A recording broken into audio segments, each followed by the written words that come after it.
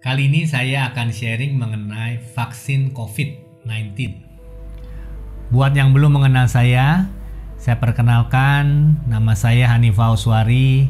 Saya dokter spesialis anak. Sehari-hari bekerja di Rumah Sakit Cipto Mangunkusumo dan mengajar di uh, Fakultas Kedokteran Universitas Indonesia. Sore hari saya berpraktek di Kidi Care Center di daerah Sunter Kemayoran. Kita tahu saat ini vaksin COVID sudah mulai digunakan di Indonesia. Orang-orang dewasa, dalam hal ini tenaga medis, sudah mulai diberikan vaksin COVID, dan bahkan sudah ada yang mendapat dua kali vaksin COVID tersebut. Masalahnya, banyak orang tua bertanya, kapan vaksin COVID untuk anak dapat tersedia? Anak-anak berbeda dengan dewasa. Dalam hal ini, anak-anak bukan dewasa yang kecil. Karena itu, vaksin COVID anak perlu menunggu. Menunggu kapan? Menunggu sampai kapan? Kita perlu tahu bagaimana vaksin COVID juga vaksin-vaksin lainnya itu dibuat. Untuk dapat membuat vaksin yang baik, vaksin perlu diuji klinis dahulu supaya satu dia aman, kedua dia berfungsi baik. Jadi uji klinis vaksin itu walaupun sudah dibuat di dalam uh, laboratorium hasilnya diharapkan baik, ia harus menjalani beberapa fase dahulu sebelum bisa diedarkan di masyarakat. Kita kenal ada empat fase studi untuk vaksin, empat fase riset vaksin.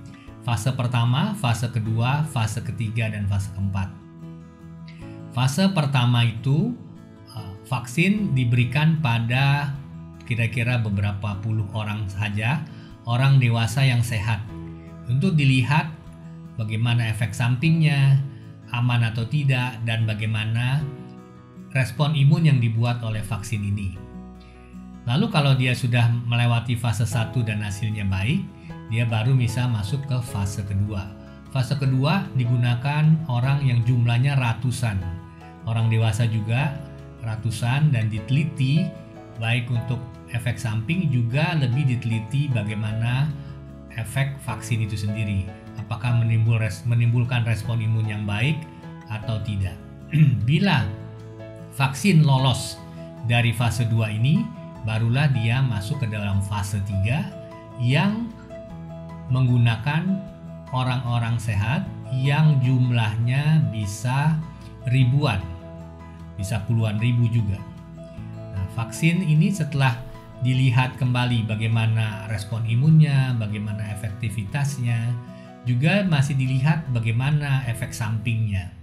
Nah, bila semuanya baik di fase ketiga ini, barulah vaksin bisa diedarkan dan setelah diedarkan tetap vaksin dimonitor yang disebut studi fase 4. Nah, untuk bisa beredar pada fase 4 ini, fase 1, 2, dan 3 harus berhasil baik.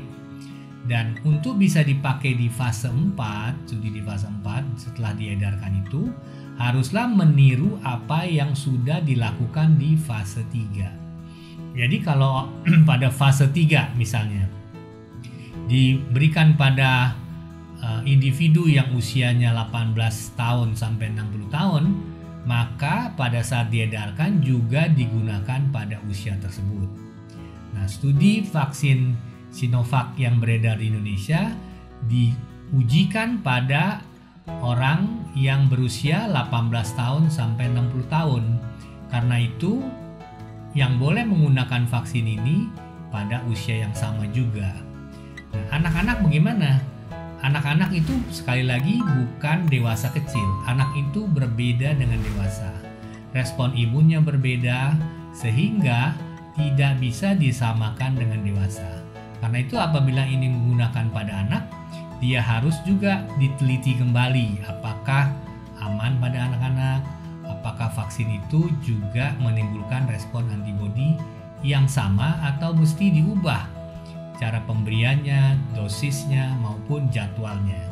Karena itu, vaksin untuk dapat digunakan kita perlu menunggu hasil studi pada anak-anak. Beberapa vaksin, misalnya vaksin yang dihasilkan Pfizer dan Moderna, kita tahu sudah mulai diteliti untuk anak-anak yang lebih kecil. Anak-anak usia 12 tahun ke atas sudah mulai diteliti.